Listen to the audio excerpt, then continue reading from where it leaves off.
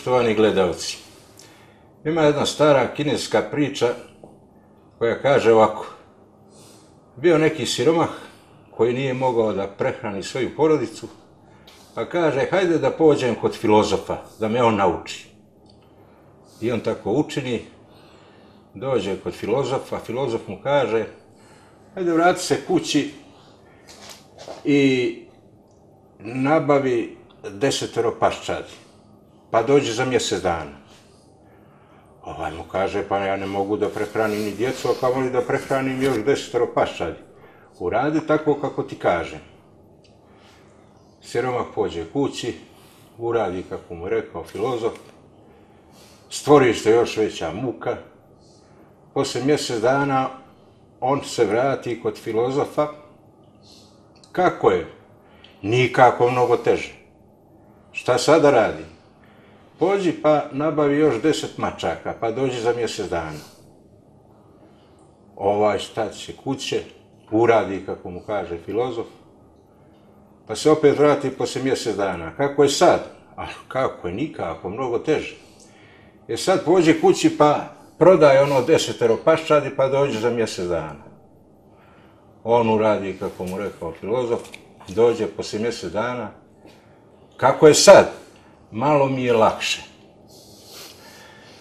Evo, pošto se, dakle, polovina stanovništva ili više od polovine stanovništva Crne Gore nalazi upravo u stanju ovoga siromaha, ja sam se sjetio da pozovem jednog filozofa da nas sve pouči šta da radimo i kako da se izvučemo iz ove bijede u kojoj se nalazimo. S nama je, dragi gledalci, profesor doktor Drago Perović, profesor na Filozofskom fakultetu u Nikšiću. Profesore Peroviću, dobrodošao u emisiju Srpsko stanovište. Pomaže Bog, zahvaljujem na pozivu i na ovoj lijepoj priči o nekadašnjoj moći filozofa. Na radost većine naroda, nažalost manjine filozofa, to taj odnos savjetnika i ono ko prima savjet se izmijenio i filozofija teško da može više i kome da preporuči kako da izmini sobstveni život. Ako se sjetimo šta su ovaj stari Grci Heleni imali u vidu kada su govorili o sofosima i filosofosima i značaju koji su oni njima pridavali ovaj, kao najznačajnijim ljudima svoga vremena, koji su imali uvid ne samo u neke teorijske spekulacije, nego i u praktično ostvarenje života. Iako su stari Grci Sofrosine razbavito zdržali kao jedno od ključnih vrlina, onda smo danas u velikom raskoraku jer mi u ovom našem modernom svijetu nijesmo u prilici da tako nešto doživimo.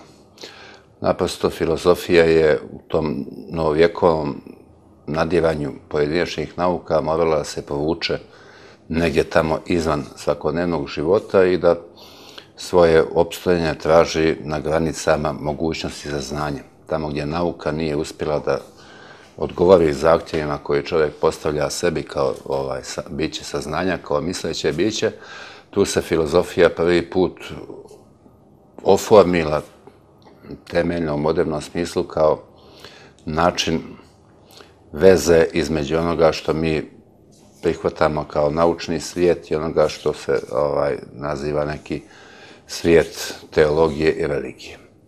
Sad kad bi ovaj tu poziciju kineskog mudraca, filosofa, doveli u neku, neku, neku našu svakodnevnu situaciju, da bi teško bilo ko od najobrazovanijih i najumnijih ljudi ovoga vremena mogao bilo šta da pomogne. Ako se sjetimo samo ovaj, situacije koja trenutno vlada u modernom političkom državotvornom državnom ustrojstvu svijeta, onda tu vidimo da nijedan od tih modernih političara nije neki ovaj, čovjek kalibe onoga zašto se zalagao Platon kada je govorio o filozofu kao vladaru ovaj, istinske idealne države ili Tomas More u svojoj utopiji kada je govorio o utopu kao posvećenom vladaru.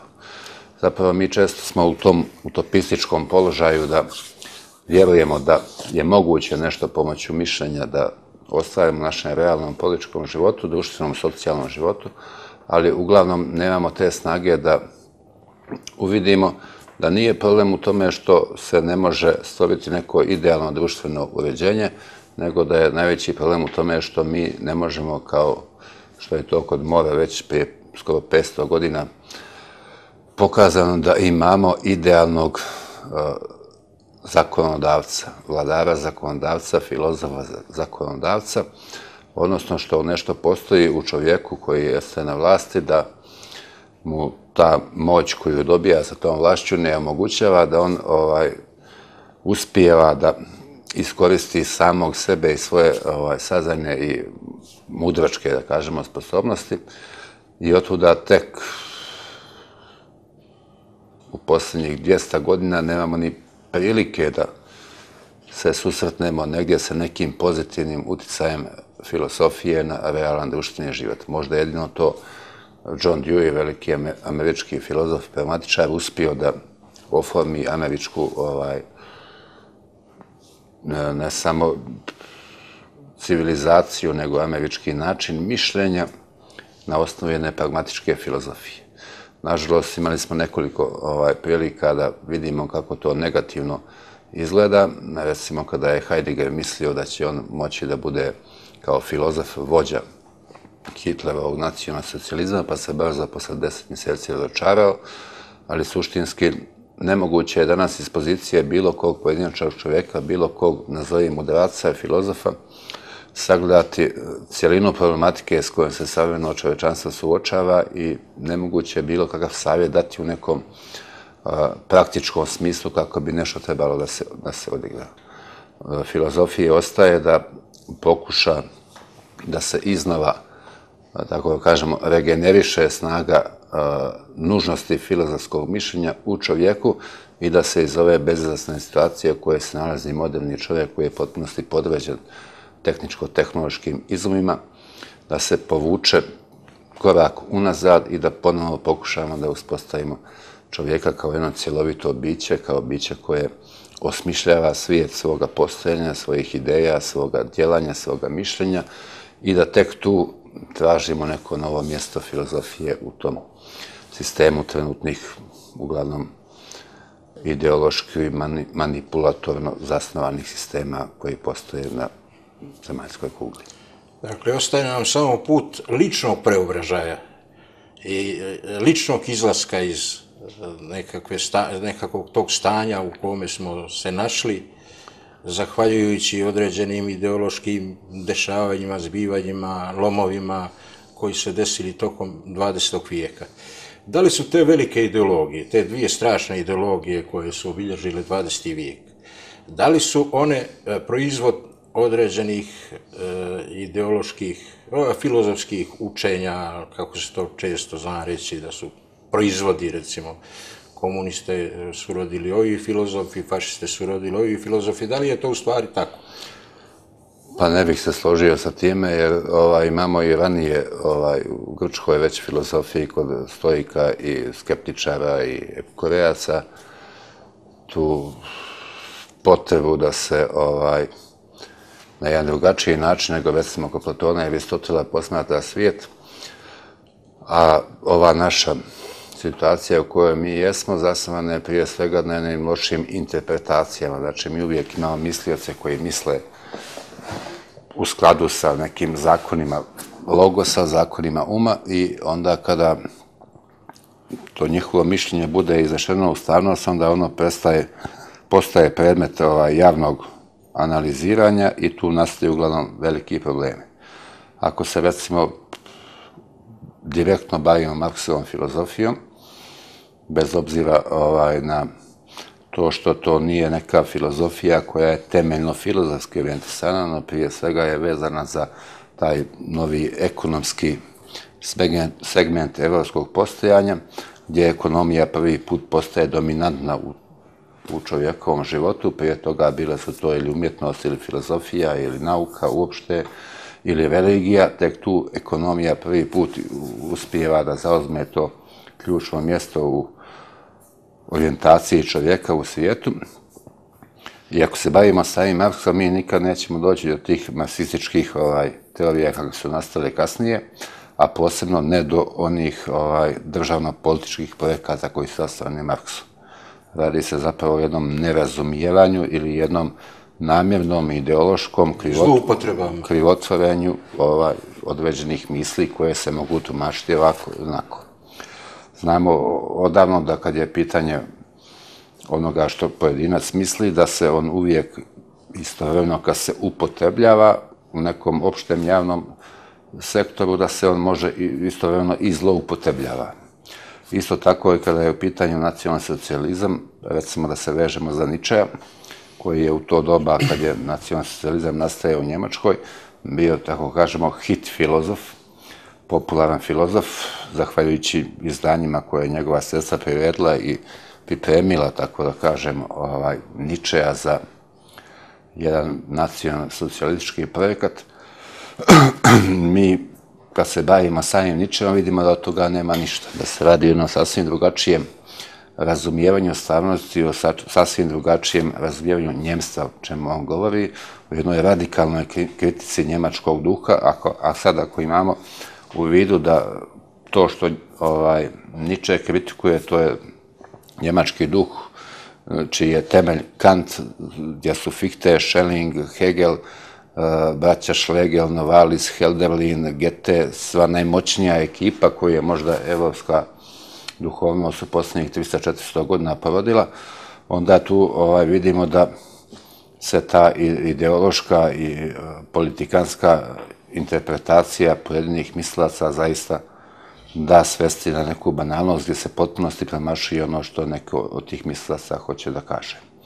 Upotreba Ničeja u tom nacionalnom sociologičkom projektu je bila zaista jedna velika zloupotreba, kao što je dobrim dijelom i upotreba Marksa bila u socijalističkim i komunističkim društvima i teorijama jedna zloupotreba jednog izlovnog ekonomskog mišljenja, gdje dakle prvi put u filozofiji ekonomija dobija dominantnu ulogu, a nažalost u tim interpretacijama uvijek se govorilo o političkoj ekonomiji, dakle politika koja prethodi toj ekonomiji i koja onda zbog toga nije nikad mogla da predstavi u izlovnom smislu Marksova mišljenja. Najbolja, najbolje interpretacije Marksa, nažalost, desilo se, desilo se tek poslije toga velikog pada marksičkih ovaj, filozofija i socijalističkih društava, tek posle 90-ih, kada su ozni ljudi počeli se bave Marksom kao filozofom bez nekih ideoloških političkih preznaka i da ga tumači onako kako je on ovaj, živ mislac, posebno u doba krize koje se, ekonomske koje se desilo prije ovaj, nekoliko godina. dakle, da, mislim da je to bitno da svaki mislac koji je izvorni mislac koji se bavi izvornim filozofskim pitanjima naživeće sve te loše interpretacije i zloupotrebe i u nekom budućem vremenu ideja koju on zastupa će se pojaviti kao rijeka ponovnica u nekom svjetlijem izdanju. A evo, pošto filozofija ili filosofija mm, ne može trenutno da nam da nikakav praktičan odgovor na ova pitanja i, i dileme u kojima smo se kojima se nalazimo, naše drame i naše krize, da šta onda može? Ko može? Pa možda je bila neka iluzija da filozofija daje neke ovaj, konačne odgovore. konačne odgovore na sve i da ona može u svim pitanjima čovjekovog egzistencijalnog postojanja da bude odlučujuća. Tačno je, filozofija od uvijek pretenduje na to bude jedno sveobuhvatno znanje i da tom svojom pretenzijom onda u granicama te sveobuhvatnosti koja je ovaj, takva da se može iz te opštosti, univerzalnosti izvesti sve ono pojedinačno posebno što je bitno. Filozofija je imala, tako da kažem, direktan uticaj na možda 20 vjekova postojanja čovjeka koje mi ovaj, pamtimo, ali više nema tu mogućnost jer se naprosto ovaj, taj kompendijum znanja, saznanja koje su nauke pojedinačne stekli od 17. vijeka, naravno toliko uvećao da čovjek više nije u mogućnosti uopšte da se obrazuje, da sazna bilo šta što je vezano za cijelinu čovječanstva. Negdje, mislim, do 18. vijeka, do prve polovine 18. vijeka, čovjek je mogao da pročita u svom normalnom životu, ne znam, 70-80 godina, sve što je bitno i značajno napisano u čovečanstvu. Danas nema nikakve šanse da bilo ko pročita ono što je bitno napisano u jednoj godini. Tako da se to polje otkrivanja koje daju pojedinačne nauke toliko proširilo da čovjek ne može naprosto taj naučnik koji se bavi biologijom, hemijom, ne znam, nija, ekologijom, tako dalje, ne može uopšte da dođe do nekog jedinstvenog ovaj, zbira svih tih znanja i da podvuče neku crtu i kaže što je čovjek. Recimo u to doba kad je početkom 20. vijeka u njemačkoj filozofiji bilo ovaj, aktuelno osnivanje filozofske antropologije, 20. godina posle Prvog svjetskog rata, dakle, osnovni uvid koji je Martin Heidegger stekao u tom dobu je bilo da nikad se više nije znalo o čovjeku, a nikad se nije manje moglo precizirati šta je to čovjek. Znači, svi ti ogromni podaci koje mi dobijamo iz svih oblasti nauka su toliko otišli u krajnost neku koja više nikak nema veze sa našim egzistencijalnim postojanjem, da mi naprosto nemamo prilike da iz svih podataka izvučemo čoveka kao biće koje ima srce, dušu, um i tako dalje. Dakle, još jedno se potvrđuje istinitost one latinske poslovice mnogo znanja ne vodi pameti, otprilike. Pa tako je, uglavnom je evropska civilizacija, znači, je otišla u tom ovaj, istraživačkom smjeru, zasnivajući se na tim preciznim matematičko-fizikalnim metodama, koje nemaju nikakvog osnova da se primjenjuju na ono carstvo čovjekovo unutrašnjeg života koje se tiče duše i njegove duhovnosti. Nažalost i 17. i 18. i 19. i 20. vijek dobrim dijelom su vezani za to da smo mi imali stalno da se različite metode prirodnih nauka, prvo biologije, matematike, spinoza, pa onda fizike, ovaj, Newton, uticaj na Kanta i tako dalje, pa onda biologije, uticaj na Spencera i ostale, pa onda psihologije, pa na kraju hemeneutike kao jedne ovaj, duhovne ovaj, vještine i duhovnog metoda koji je onda dobio neke prirodnješke ovaj, elemente. Uglavnom svuda smo izgubili ono na čim smo tražili. Ako je bila svrha, kako to Kant ovaj, eh, razmišlja u svojim poznim spisima, da se konačno skupi svih tih znanja šta mogu da znam, čemu treba da se nadam, e, kako treba da se ponašam, šta treba da činim, da se skupi iz toga jedan odgovor na pitanje šta je čovjek. Mi smo, nažalost, sve što smo naučno napredovali, mi smo u tom pitanju nazdovali. Izgubili smo, dakle, taj orijentir, jer su sva ta znanja koja su stečena i koja su otišla u nedogled, da ih pojedinačan čovjek uopšte ne može pratiti u različitim oblastima pojedinačnih nauka, se rasula bez neke osnovne, fundamentalne, jedinstvene pozicije sa koje bi smo mi mogli da ovaj, razumijemo čovjeka i sami sebe kao takve. A da li je taj proces, ovaj, eh, ili mak se meni tako čini, eh, pratio jedan razlaz sa teologijom i jedno udaljavanje filozofije i mišljenja od religije, od teologije, od teološkog mišljenja. I da li sada u ovom vremenu imamo možda opet neko približavanje? Pa imamo već ovaj, od 17. vijeka, dakle tu doba te velike naučne, velikih naučnih revolucija, kada je nauka konačno dobila autonomiju u odnosu na filozofiju i teologiju, tu potrebu da se ispostavi jedan subjekt saznanja koji će biti nezavisan od svega onoga što je srednje vjekovlje podrazumijevalo od Boga kao tvorca svijeta, pa samim tim čovjeka. I e sad tu smo mi u nekom velikom, tako kažem, jednostavnom načinu tumačenja. Dekart, kada je u svojim meditacijama postavljao pitanja na koji način se dolazi do prve izvjesne istine koje čovjek uopšte može da ima, nije se poveo za nekim matematičkim istinama ili nekim fizikalnim zakonima, nego je tvrdio da se prve istine koje čovjek kao subjekt dobija su istine o samom sebi, koji dakle sumnja u postojenje svega izvan sebe, Boga, svijeta, drugih ljudi, samoga sebe, i s druge strane ideja beskonačnog u čovjeku.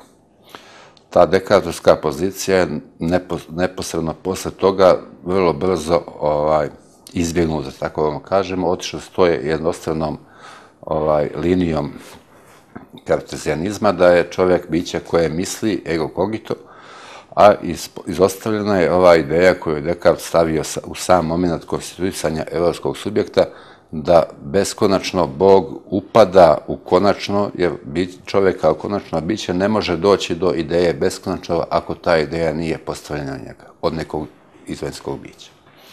I u tom raskoraku, negdje posle možda stotina godina, već kod Labnica je pokazano ili učinjeno tako da ta ideja beskonačnog u meni nije validna filozofska ideja i krenuli smo onda u tom jednom kantorskom pravcu koji je vodio ka tome da čovjek jeste biće koje jedno može da sazna stvari koje mu se pojavljuju, on nikada ne može da spozna stvari po sebi. Došao je tu do velikog rasjepa između svijeta pojava i svijeta stvari po sebi i time je samim po kantovom ovaj,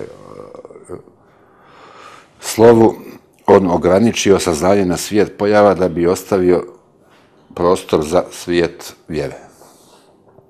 Tu je dakle nastalo jedno novo, moderno evropsko stanovište koje su kasnije svi filozofi njemačkog i lezana pokušali da prevladaju, ali ona je ipak toliko bilo radikalno da je se i danas mnogi drže, drže toga u različitim oblicima. E sad, taj veliki uspon nauke koji je trajao otprilike do druge polovine 19. vijeka, gdje je postojala neviđena do tada vjera u progres, dakle ne znanje progresa, nego vjera, jedan religijski termin se prenosi u svijet nauke, I onda ovaj, tek u drugoj polovini 20. 19. vijeka opada ta vjera jer se vidjelo da to saznanje nije dovoljno dobro da može da oslobodi čovjeka od svih zavisnosti, a može da ga oslobodi od zavisnosti koje on ima sprem prirode, koja je iza njega od tih sila prirode koje vladaju, ali ne može da ga oslobodi od zavisnosti koje postoje u samom čovjeku. I u tom nekom razočaranju naučnim oslobođenjem znalačkim oslobođenjem čovjeka u drugoj polovini 19. vijeka stvorili se društvene nauke, duhovne nauke u kojima se daje neka druga mogućnost čovjekovog samorazumijevanja i nalaženja sebe kao cjelovitog bića i u tim naukama od uvijek je postojala ta ovaj, nužna relacija čovjeka i Boga. Dakle, imamo relaciju čovjeka prema samom sebi, samo svijest prema drugim ljudima, intersubjektivni svijet, prema prirodi u kojoj jeste i prema Bogu kao transcendentnom biću koje nalazi taj svijet.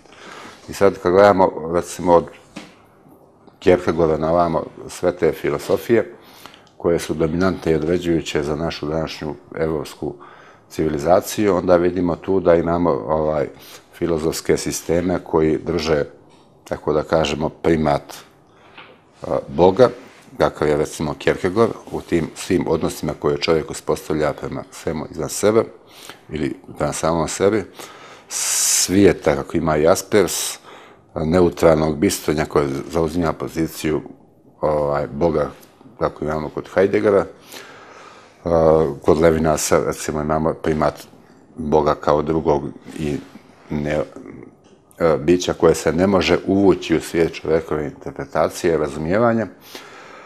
Dakle, u tim nekih zadnjih 150 godina od uvijek je ta relacija e, imanentno, transcendentno čovjek kao konačno biće, Bog kao beskonačno biće bila filozofski aktualna.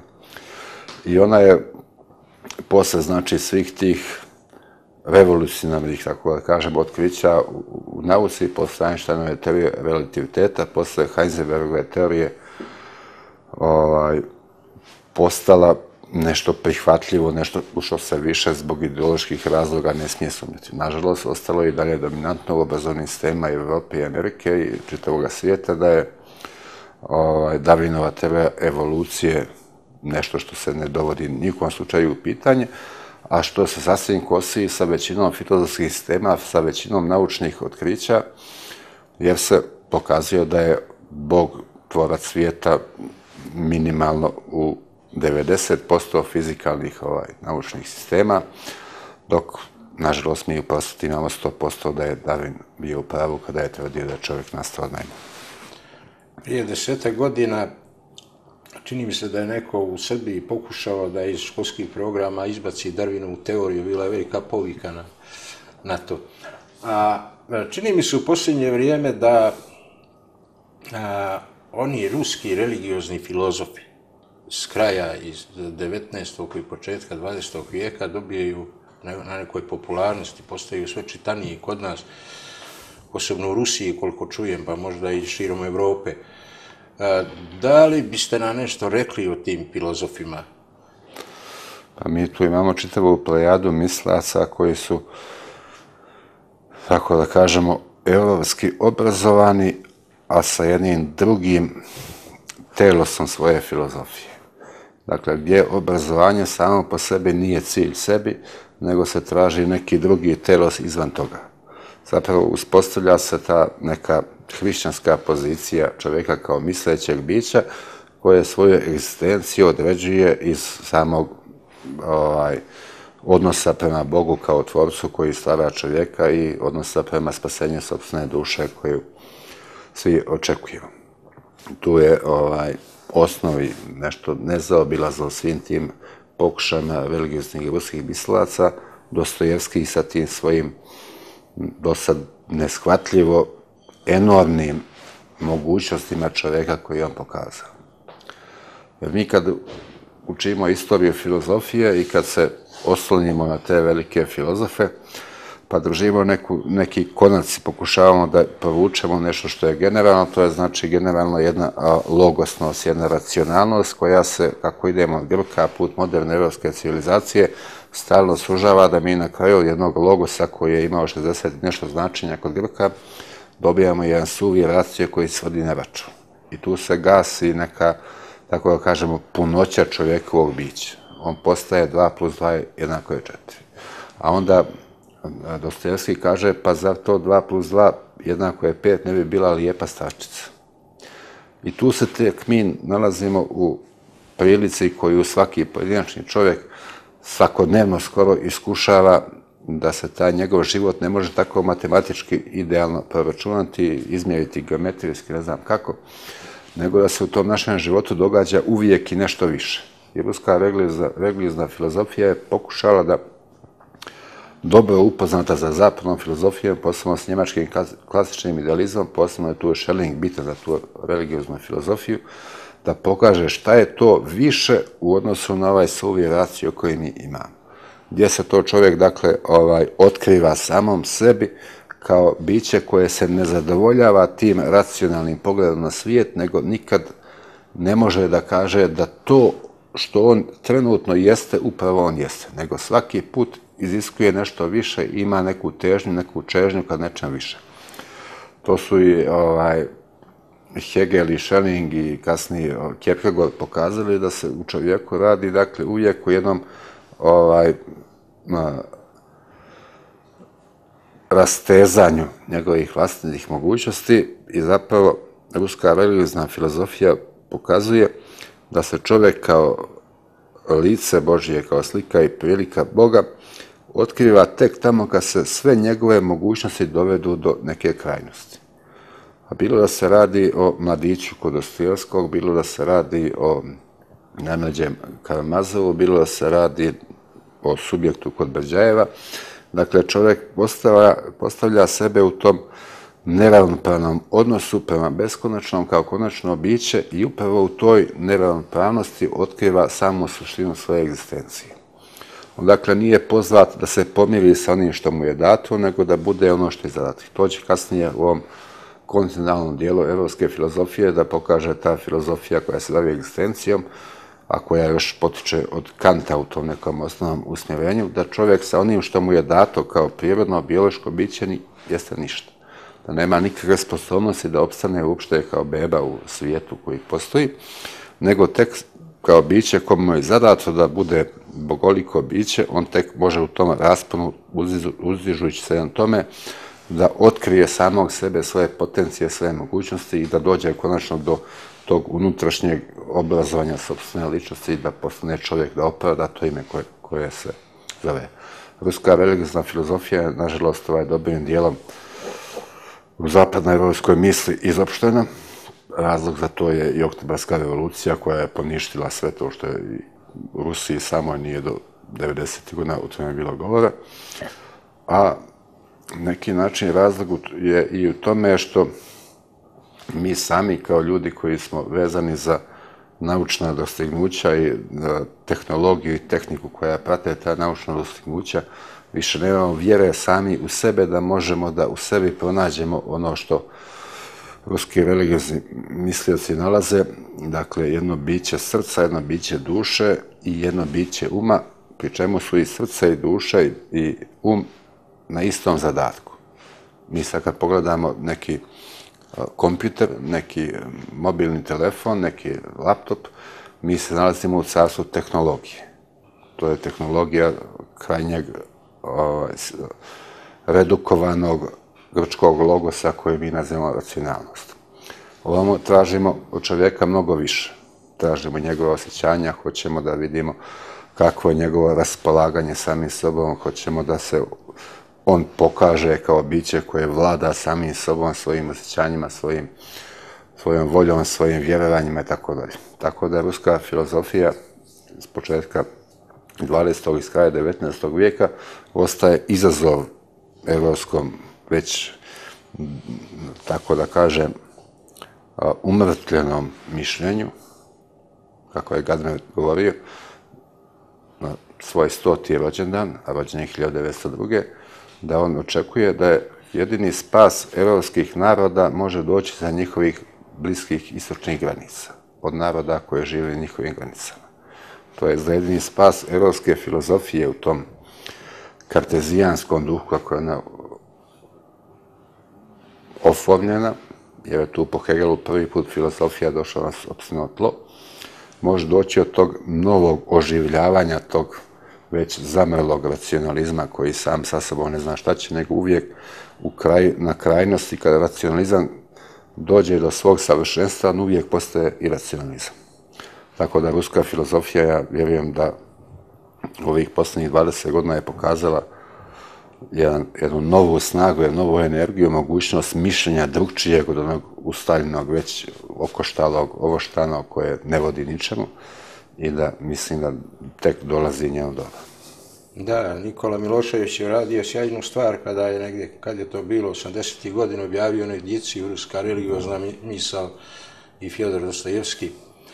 Bilo bi zanimljivo, veoma zanimljiva je bila sada priča o pitanju slobode, o shvatanju slobode kod ruskih religioznih filozofa, posebno kod Dostojevskog, no mislim da nemamo za to, nažalost, dovoljno vremena, a bilo bi zaista dragocijeno i lijepo da o tome malo pričamo, nego ipak da se malo vratimo na ovu našu sumornu stvarnost u Crnoj Gori. Dakle, u Crnoj Gori imamo sveopštu krizu. Imamo krizu ovaj, vladanja, krizu morala, imamo krizu identiteta, imamo krizu smisla, kako je došlo do te krize, zašto se Crna Gora morala baš e, tako duboko upustiti u sve te krize i, i koje su dovele do tih drastičnih podjela koje u, djeluju pomalo i naprosto više ne, ne, nerješive. Ako se vratimo na stare Grke, onda su oni pod tim terminom krizis razumijevali e, stanje čovjeka koji za koje mi danas kažemo da je to kritično stanje. Dakle, to je, Crna Gora se nalazi u momentu kritičnog stanja da li će da opstane ili da neće da opstane. Dovođenje nekog organizma, nekog, neke ličnosti, nekog ovaj, društva, neke države u krizu proističe iz kao što svi znamo, mnogih razloga, ali mislim ja da je temeljni po meni razlog taj što ta ovaj, konstitucija neke crnogorske državnosti nikad nije bila izvedena iz izvornosti samih, samog naroda koji je tu živio.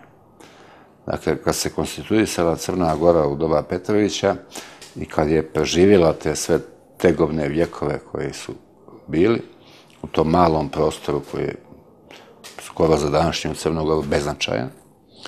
Kako je govorio Šula Radov, brod u kamenici. Jeste. To kad se stvorilo nešto i opstalo, uspjelo zahvaljujući geopolitičkim tadašnjim odnosima da se sačuva kao takvo i o, zahvaljujući toj nekoj prirodi samih branilaca te slobodne Crne Gore. ta dakle, jedinica koja je postojala u jednom moru oko nje nije uspjela da se snađe u vremenu kada je ona doživjela jedno proširenje koje su doveli Balkanski ratovi, prije toga Hrvatskovački ustanak, Balkanski ratovi i Prvi svjetski rat, jer se ona u toj nekoj svojoj uskosti na kojoj je zasnovana previše, ako da kažemo, siromašno osjećao.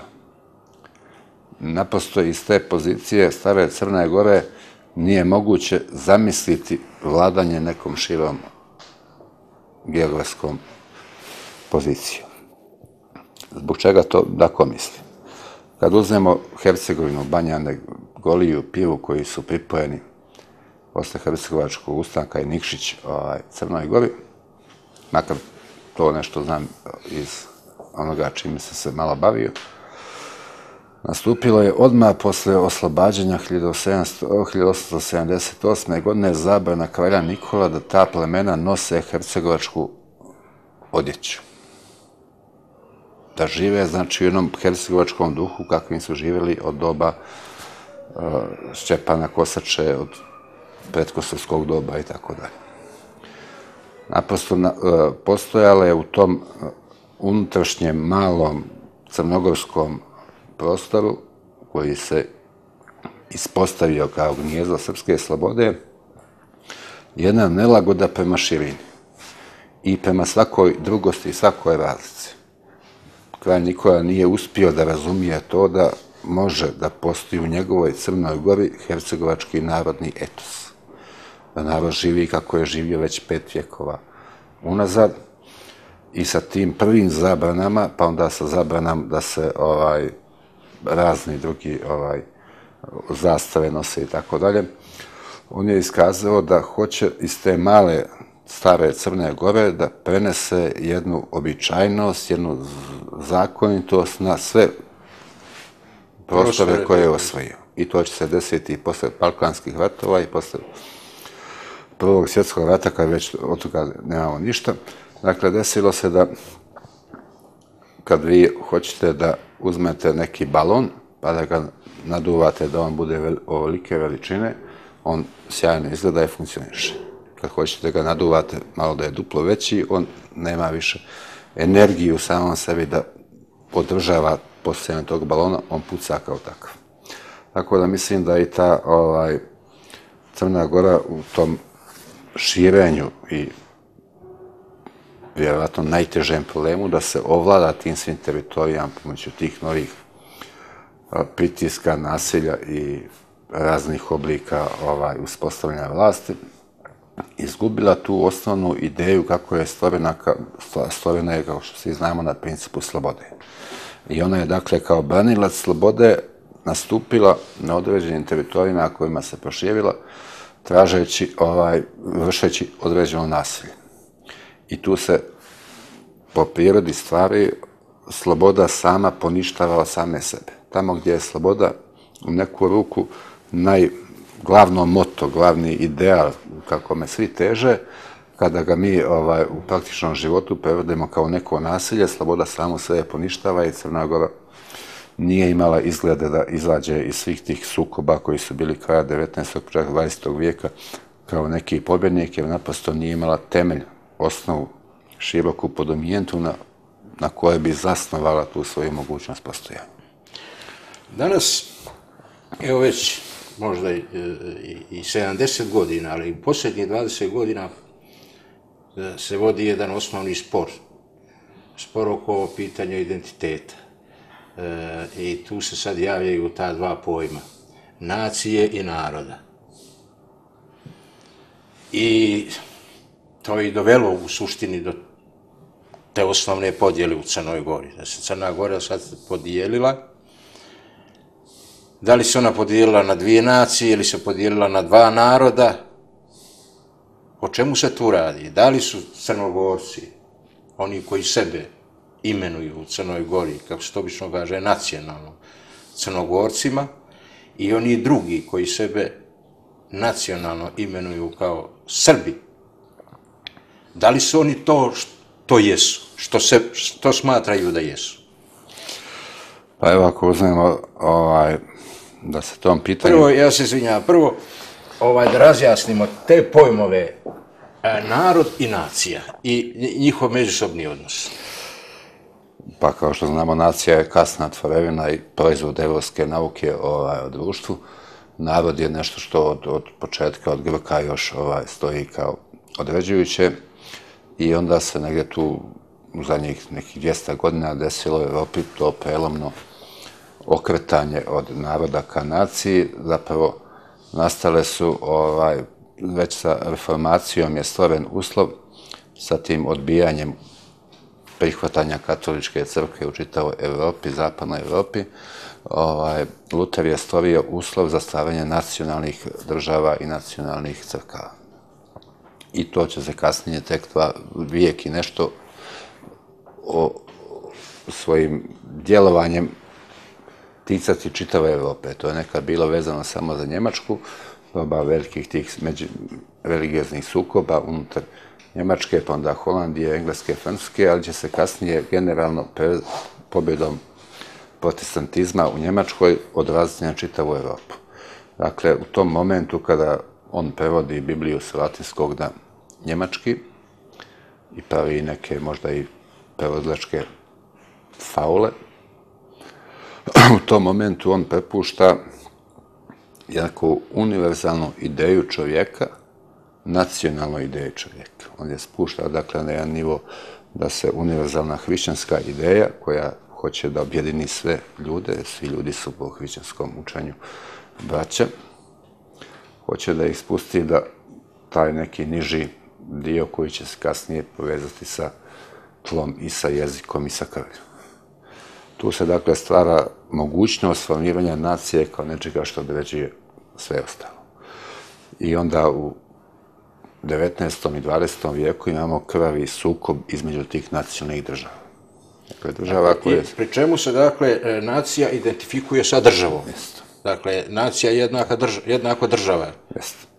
I e onda mi ovdje imamo tu priliku da država koja je vrlo labilna u svom postojanju, koja skoro nikad nije znala svoje granice, temeljno nikad nisu bile utvrđene gdje, kako i što, koja i kasnije kada se razvijala, ne može da ovlada samim tim područjem koje ona dobija kao svoje, ovaj, kao, kako bi rekao Weber, kao da ima monopol da nasilje vlada na tim područjima.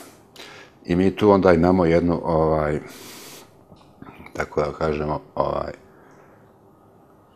nesreću da budući da ne možemo da ovladamo sa nečim, a to je pozicija u kojoj kralj Nikola se nalazi, jer on ima, ne zaboravimo, ovamo u Hercegovini, u Pivi Dovnjaku, Banjanima Goliji, ima Lazara Sočicu kao velikog oponenta, ima u Vasovićima druge oponente, znači ta velika teritorija koja je mnogo veća od one koji on, nad kojom on umije da vlada, on dakle u tom momentu kad ne može da vlada tom velikom teritorijom, mora nužno, da to je valjda neko ljudskoj prirodi, nekog vladanja i toga, da primijeni ovaj metod da u sebi samom i svom unutrašnjem biću nađe neki stožer oko koja će ovi morati ostali da se vežu. I to se posebno dešava početkom 20. vijeka sa proglašenjem Crne Gore za kraljevinu i ovaj, Sarajevinu, odnosno sa ulaskom u prvi svjetski rat i povlačenje njegovih, njegovim 915. iz povlačenjem jedinica koje su išle put Sarajeva na front put Skadara. Jer on ne može nastao u tom jednom uskom okrugu, gdje svaki, svaku kuću mogao da obiđe za dva dana, on naprosto nema ovaj, mogućnosti u svome umu da vlada nekim širim pojasom. I on mora da širi teritoriju koja je najbliža njemu, a ne da ide negdje tamo na zapad gdje mu je to daleko. To je stvar čistog racionalnog pogleda na svijet. Dakle, on je u svojoj toj racionalnosti i racionalan. On hoće da stvori veću državu, veću Crnu ima pretenzije da bude objedinitelj svih južnih Slovena, Srba i tako dalje, ali ta ovaj, njegova racionalnost, kada se prenosi, prenosi na polje praktičnog djelovanja, ne može da dobije adekvatnu primjenu i onda ona prelazi nužno u iracionalnost. I taj naš problem sa identitetom zastavan je upravo u tom periodu u kome, dakle, ova, je to radikalno srpstvo Petrovića, koje je temeljeno u samom narodu, jer ako pogledate genealogije svih porodica iz okruženja, sve one tvrde da se potiču sa Čeva, ili su došli s Kosova na Čelo, Čevo uglavnom, pošto je Čevo izgleda bilo neko mjesto za izbjeglištvo, tu su Turci najteže dopirali u te krajeve koji su skoro neprohodni. I ako vidimo svu tu priliku, onda mi vidimo da se tu desila jedna ovaj, transformacija, jedno preoblikovanje radikalno novo, samo naše svijesti nama samima. Ja recimo kao dijete sam uspio eto, toliko da zapamtim da je osnovno o čemu su pričali stari ljudi u mojoj goli bilo Kosovo, prvi svjetski rat Skadar, Borač, drugi svjetski rat, znači tamo gdje su učestovali tvoji preci. Hercegovački ustanak također, pošto se vodila bitka i goli i pivi i tako dalje. Znači, nikad ta priča o toj nekoj starijoj ili novijoj istoriji nije prestajala i ona je bila ono jedino što je davalo smisa o tom načinu postavljanja koji se ovdje na selu. Ovamo kad se desila ta transformacija ovaj, sa crnogorskim identitetom, upravo je zaboravljeno to zbog čega je Njegoš i u svim svojim dijelima, posebno u Šćepanu Malom i Gorskom vijencu, uveo tu svu priču o Kosovu i Nemanjićima, da bi našao neku vertikalu na koju se mi možemo osloniti. Da ne bi lutao u tom malom prostoru i čas lijevo kod Mlečana, čas Kulturaka, čas ovamo, čas onamo, nego da bi našao gdje narod može da bude siguran na svome. Da bi uspostavio jednu vertikalu, jedan stožer u koga će se sve odluke ključne događati. I tu Nemanjić je, dakle, i Sveti Sava i Kosovo upadaju u njegošu, njegoševu poeziju upravo zbog jednog tog e, prohtjeva koji dolazi iz cijeline e, ovaj, romantizma, da se mora naći neki temelj svemu, da se mora cijelina zahvatiti kao cijelina, da ne možemo posmatrati sve onako kako nam se daje trenutno kao neki osjećak neke stranosti, nego da moramo naći, kako kažu e, njemački romantičari, neku mitologiju toga što sve doživljeno. I ta mitologija nije, kako to danas pogrešno interpretiraju, nešto što je vezano za neke mitove koji su nastali ovako i onako, nego ono upravo što ovaj, u najstarijem programu njemačkog klasičnog idealizma Helderlin, Schelling i Hegel nazivaju mitologija uma. Dakle, mitologija razloga, mitologija smisla, onoga što daje, obezbeđuje razlog unutrašnjeg postojanja jednog prostora i daje smisao svakom budućem postojanju. E, mi smo, nažalost, u Crnoj Gori ovaj, u poslednjih 20 godina izgubili i taj razlog i taj smisao našeg postojanja, jer smo preuzeli nečiji drugi razlog postojanja, nečiji drugi smisao i više nijesmo ono što, što smo bili, što objektivno jesmo. Profesore, ovaj, toliko je zanimljivih tema i zaista e, bilo bi velika šteta da ne iskoristimo ovu priliku pošto nam vrijeme za ovu emisiju ističe, ja bih vas zamolio da mi malo odmorimo, da završimo ovu emisiju, pa posle kraćeg odmora da nastavimo ovaj naš razgovor, jer smo tek načeli neke teme o kojima vi imate mnogo šta da nam kažete. Dobro, koliko se mogne, pa ćemo vidjeti. Evo, poštovani gledalci, do sljedećeg susreta, a evo već smo najavili ko sa kime će taj susret biti, zapravo bit će nastavak ove priče, dakle do sljedećeg, sljedećeg emisije, sljedeće subote, svako dobro od gospoda.